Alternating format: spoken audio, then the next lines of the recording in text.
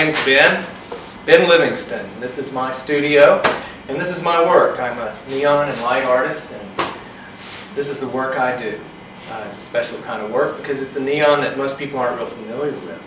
It's a neon that is less obtrusive, meaning that it's uh, it's not so it's not so bright and not so on the outside. Rather, it's a kind of a neon that has an interior sort of environment that lets the viewer become more intimate with the tube itself. Neon is a glass tube filled with different phosphorescent minerals and filled with an, I use argon gas. A lot of people use the generic name neon because the red tubes are neon gas. I want to take you through the process and uh, of how this neon is made. And so if you would please be my guest, I'd like to bring you along through the process of my neon and how it's made. I have a wall that uh, for a commission and this wall is eight feet. It's a standard wall. So I'm going to draw a line here. This will be the floor, the proposed floor, okay? Well, we'll make it the ceiling. Okay? The wall is eight feet tall. I always draw everything out on the floor so I can see kind of the actuality how it's going to be. Here's eight feet right here. So this actually gives me a floor to ceiling perspective of what we've got here. Now, this wall is also about eight feet wide. This, this area that I've been asked to work inside of. So I'm going to draw this out. It's basically a big eight foot by eight foot cube so I can see what I've got to work with.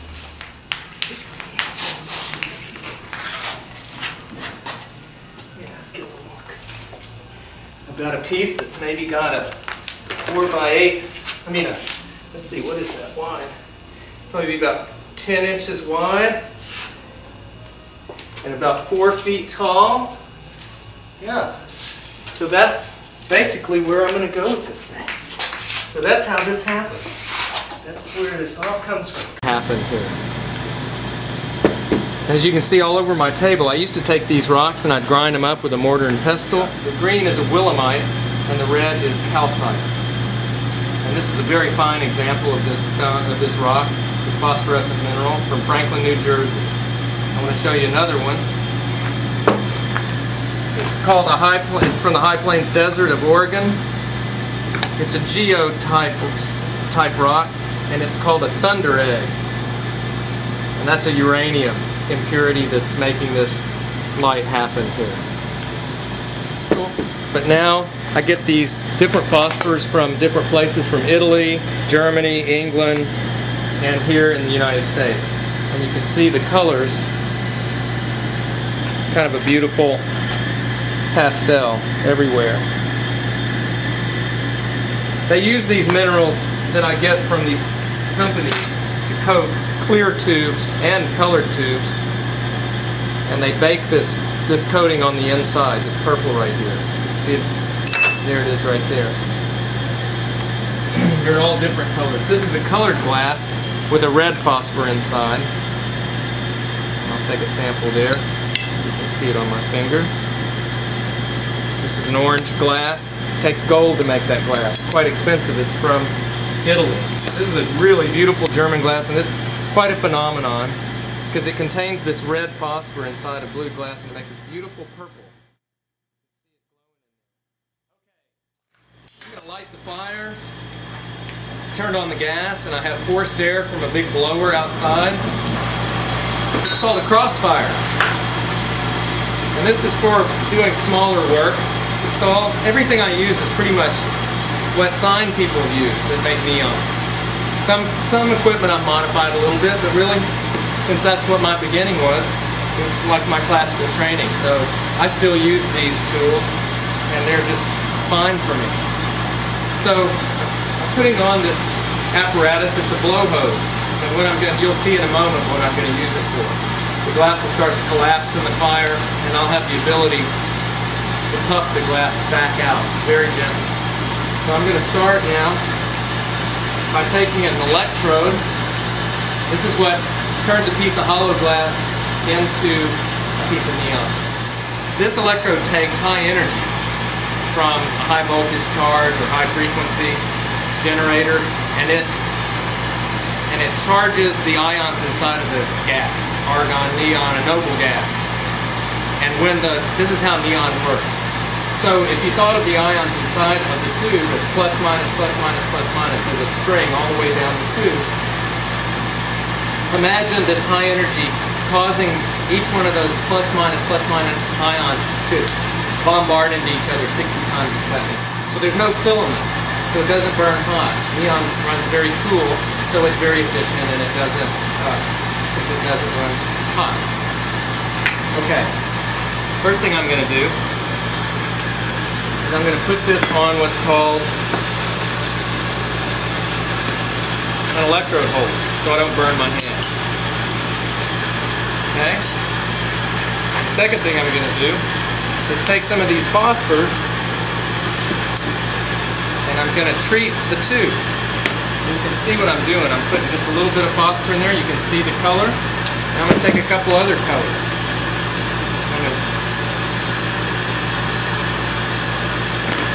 You can see the red. See the red in there? And I'm going to take a little blue. Kind of in the mood for blue. Just a little bit. A little dab will do you. So here's a little bit of blue. You can see, maybe you get a close-up, you can see this whole little universe starting to happen in here, like a little cosmos. Now, I'm looking at this composition over here. I'm going to get a picture of it. You're going to just go back and forth to what's over there. Alright. Uh, yeah, Devin, do you want to work mostly on close-ups or mostly on wide shots of him speaking? I'll do close-ups. Alright, I figured you'd be into that. Knowing Okay. Devin. Should I show this lit now? Uh, will it light now? Uh-huh. Yeah. It'll light remotely. And so it'll kind of give, kind of talk about how it's giving me ideas for for you see. And the background will light up too, won't it? Uh, yeah. Okay, so when I come over here, I'm constantly working on composition of this thing.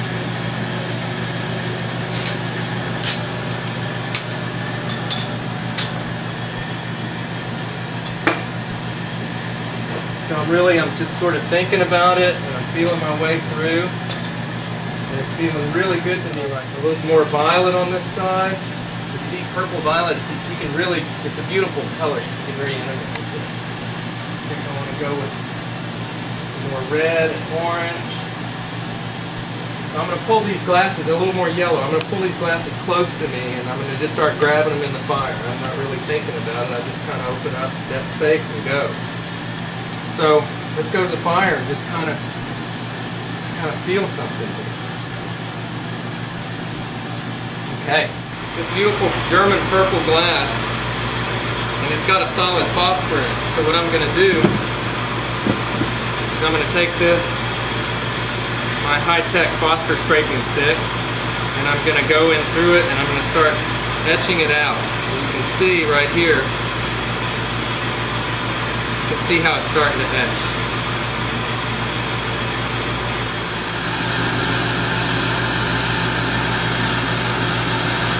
And in just a second, I'm going to weld these two together. There it goes. See how I just blew it out just the tiniest bit? I'll just twist it to get it to sort of meld together. And that is a perfect vacuum seal. Now what I'm going to do, I'm going to do what's called a double back. I'm going to do a 180 degree turn.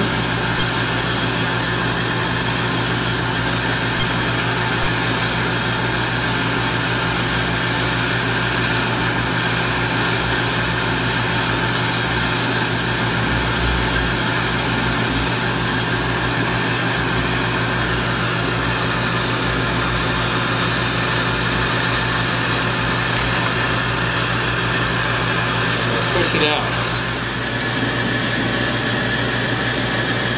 The reason I uh, the reason I clean these edges is because it helps it adhere to itself better. Cleaning the phosphor off of the inside of the tube. That way it sticks to the next piece better.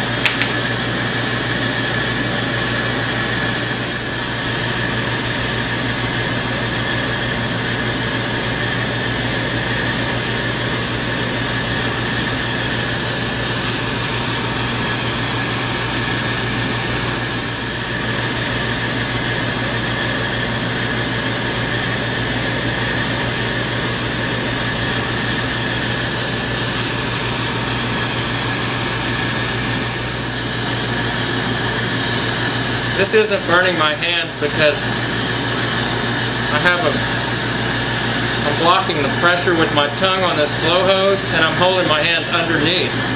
Obviously the flame and the heat goes straight up.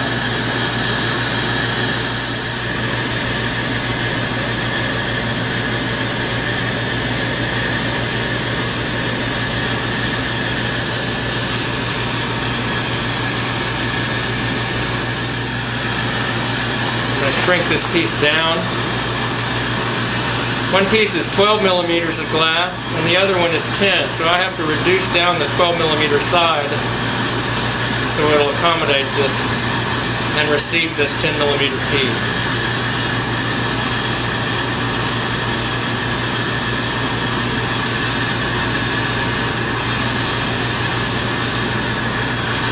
There we go.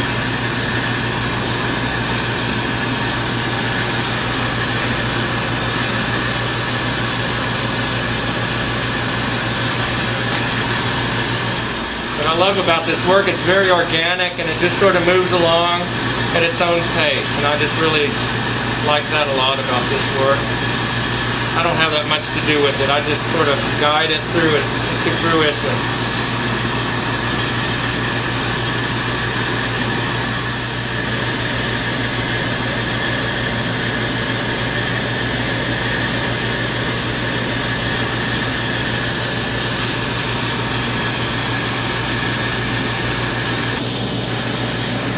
Now I'm gonna blow, I wanna blow a little bubble in this. I think it'll look pretty cool. So what I'm gonna do is I'm gonna gather up these two glasses. Gathering is a way of, what I, gathering means that I'm gonna heat this up and I'm gonna mash it together while keeping it hollow so I can make it thicker before I blow a bubble. So a bubble will have some walking thickness to it.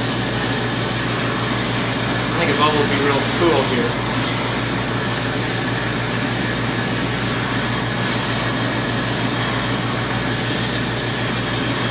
Sort of pushing it together, barely blowing it out at the same time.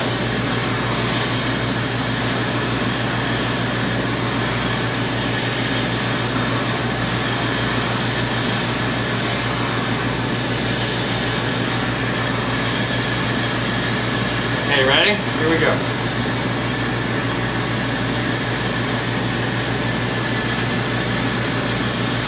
Make a rainy out of it. The ribbon fire does up to 16 inches at a time. And it's adjustable by this ribbon here. So it'll do any size curve you want. That's what sign guys use to make curvy letters or curvy shapes. I'm going to step right over here. I'm going to get in here. I want it about that long. Because I want it to come at least this far. So here's how I'm going to do it.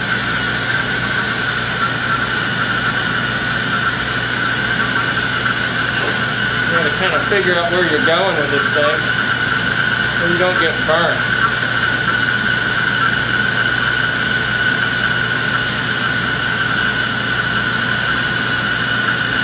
Don't want to get burnt. Getting burnt really sucks. I used to get burnt so much. Okay do a little something special. Twist it around a little bit, maybe. There, that's kind of nice. That's probably an adequate shape for now. Show you how to cut. Take the edge of the file, and you can feel, you can see the edge that we just sharpened there. And what that does is it causes, if you zoom in, you can see the serrated edge right on the, along the edge there. So hold your finger out. It's not too hot. You see it, that wouldn't Mhm. cut, and that wouldn't cut, but that diagonal will. Mhm. So you take that diagonal glass on the glass, like that,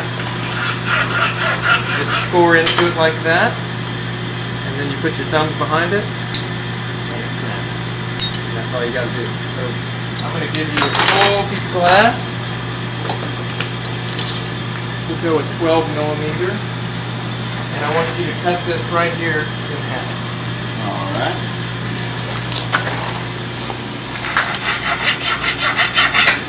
There you go. Thumbs behind it. And it should just pull right apart. Look at that. Excellent. Instant Pro. Okay, you take one, and I'll take one, and I'm going to put a cork in both of them. And this cork will trap that pressure inside so it won't leak out and burn our hands. Uh huh. Make sure you get the longer one. There you go. Okay, so I'm going to show you one first. You want this one? First thing I want you to do is just hold it in your hands on top of these two fingers like this, and just get familiar with what it feels like just to roll it back and forth. You can, a lot of people have the tendency to go out here because they get nervous and feel like they might get burned. You won't get burned. So just try to concentrate on some confidence of holding it this way. Okay. Now, I'm going to get in the fire here. And I'm going to turn it on. And I'm going to I'm going to do one real quick and I'm going to show you how. Okay, so just kind of roll with me here. I'm take the ribbon out. And just we don't need a blow hose or anything. I've got it just right on top of those little blue tips of flame. This this this flame is about a thousand degrees, I understand. So I'm just rolling around and around like a rotisserie, just slowly. And I'm imagining this glass just gathering up all that heat. And it's going to go plastic right now, okay? And when it goes plastic, stop rolling it and just roll, just rock it back and forth. And the goal is to get sort of a uh, an orange, hot, red hot spine on this, okay? And just rocking it back and forth so it'll take the heat all the way down that curve. Okay, I've got that spine. I'm going to turn the fire off. I'm going to hold it vertically, and I'm going to twist it like a dish rail. I'm going to get that curve. That's how that thread happens. And as soon as I feel any kind of resistance at all, I'm going to stop. Okay? So it's that easy. Okay, it's your turn. Right. I'm going to put this away. So I'm guessing I want the corked end Doesn't over matter. towards. Doesn't matter. No. Excellent. Doesn't matter. So step on that, step back, and step on that, and it'll, come right to you. All right. Okay, come on in. Look good and relaxed. There you go, right in that plane. Beautiful position. Set. Roll it. Roll it around, and before you know it, it'll just slump down in the fire.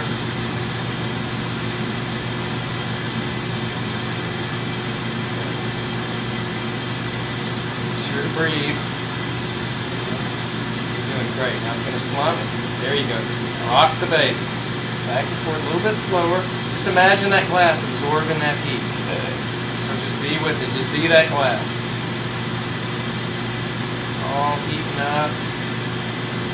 Getting good and hot on that spine.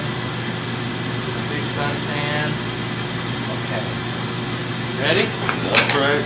Take it upright, twist it. Just gently twist it until you're satisfied. And as soon as you feel any resistance or you just want to stop. That's beautiful, Lee. Very nice. Look at that. Okay, now hold on, because I always like to get a picture when I can.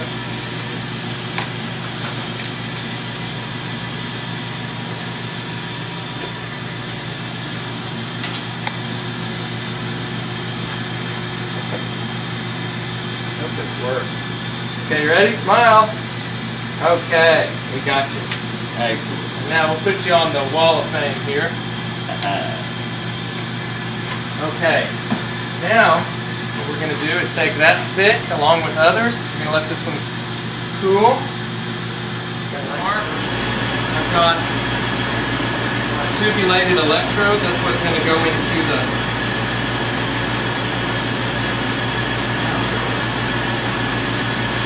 that's what's going to go into the system. Tubulated electrode here. This is what's going to go into the manifold, which is the unit that puts the neon into the tube. This is this little umbilical cord. I'm going to attach a longer extension to it, and it's going to go to the manifold. This is the other electrode. It doesn't have the, this is called a tubulation. It doesn't have that. See a little bit of phosphor on the edge there. There's so much energy from that fire that it'll light the phosphor right on the edge. Pretty cool. Got my lines lined up. Together it goes.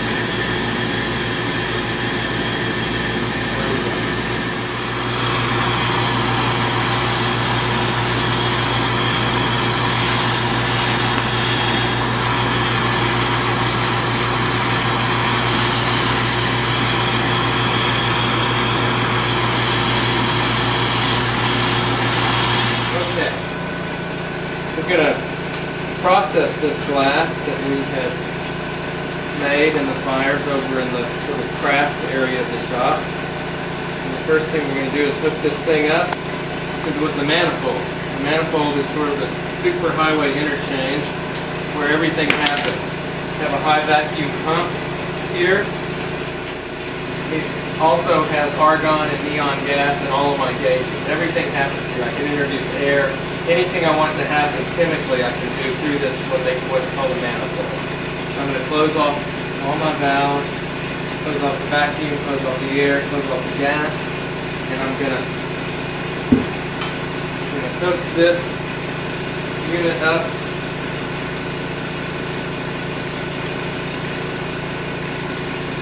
to the system. I'm going to take what's called a hand fire, which is a really small version of what we were using over there.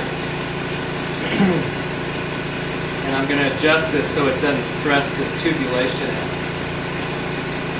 Basically an extension. It's like an umbilical cord that goes to the, the system. See how it just relaxes down since it heated up?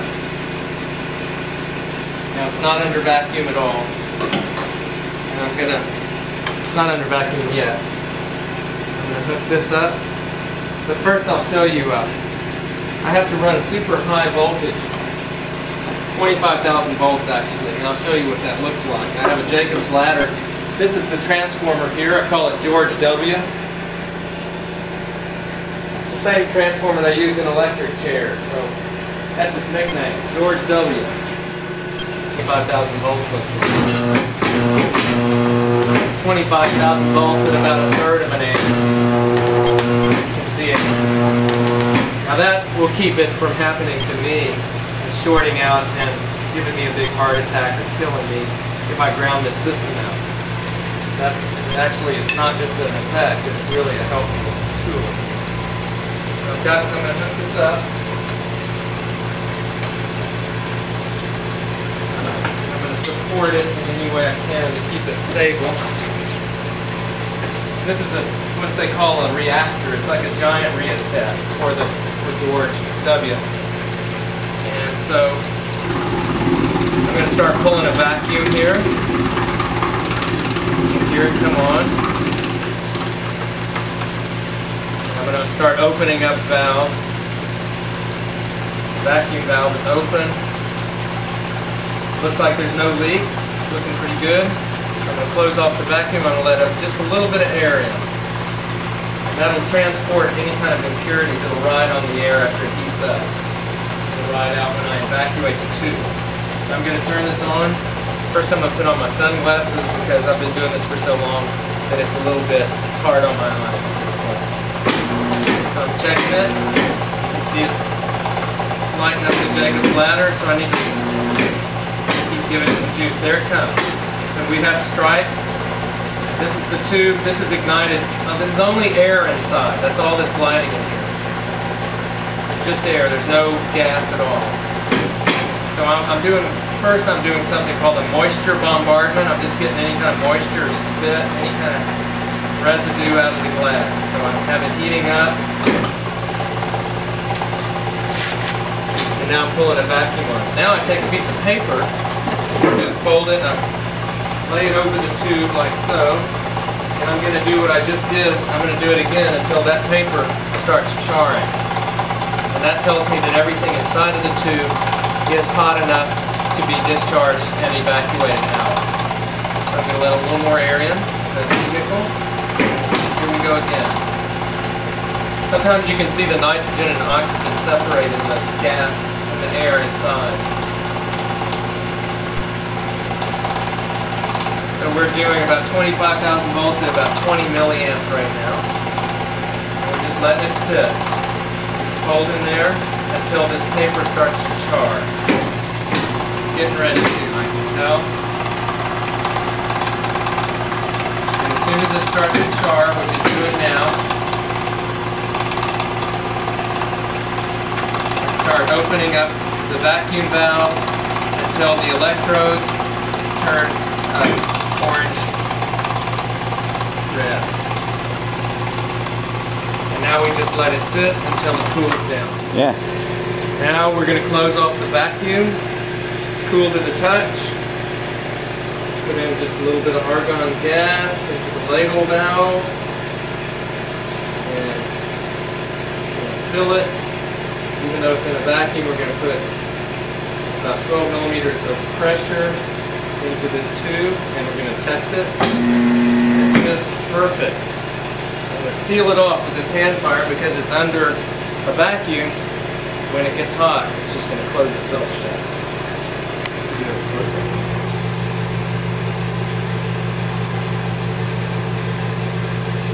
This, there it goes. It's closed itself up. We'll draw it tight.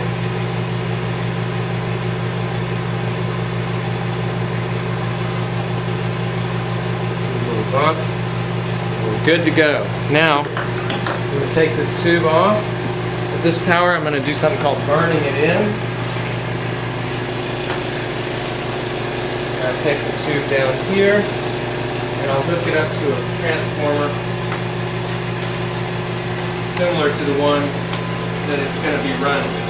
This is an 8,000 volt transformer that is actually more powerful. The solid state version is more powerful than this old transformer. It weighs about 15 pounds.